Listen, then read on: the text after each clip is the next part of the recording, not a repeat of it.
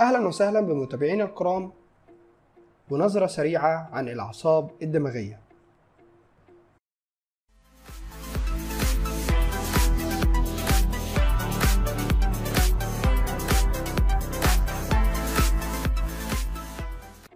جهازنا العصبي بيحتوي على 12 زوج من الأعصاب الدماغية مرقمين من الأمام إلى الخلف طبقا لاتصالهم بالمخ. والأعصاب الدماغية بتتقسم لثلاث أنواع.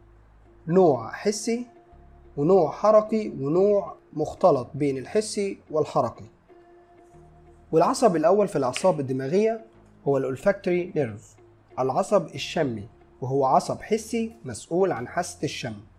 والعصب الثاني هو ال optic nerve وده العصب البصري وهو عصب حسي مسؤول عن حاسة البصر. والعصب الثالث هو ال oculomotor nerve وده العصب المحرك للعين. وهو عصب حركي بيغذي معظم العضلات المحركة للعين.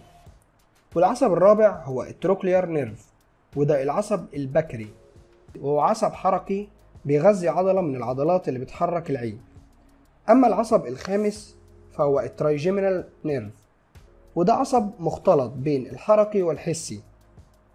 ومسؤول عن الإحساس بالوجه والرأس زي مثلا الإحساس برموش العين والشفة العليا والقناة الدمعية.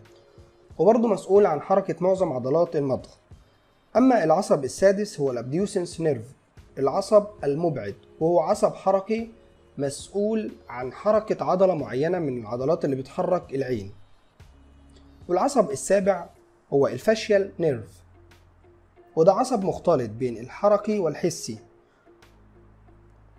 وال facial nerve بيغذي العضلات المسؤولة عن تعبيرات الوش. والإحساس بالتذوق والإحساس بفتحة الأذن الخارجية. أما العصب الثامن هو ال vestibulocochlear nerve وهو عصب حسي مسؤول عن الإحساس بالتوازن ومسؤول برضو عن ترجمة قوقعة الأذن للأصوات. والعصب التاسع هو ال glossopharyngeal nerve العصب اللساني البلعومي هو عصب مختلط بين الحركي والحسي لأنه مسؤول عن حركة عضلات البلع ومعظم حركة اللسان والإحساس بالألم ودرجة الحرارة في الأذن الوسطى. والعصب العاشر هو ال vagus nerve العصب الرئوي المعدي هو عصب برضه مختلط بين الحسي والحركي. وعصب بيغذي معظم عضلات القناة الهضمية وعضلات الرئة والقصبة الهوائية.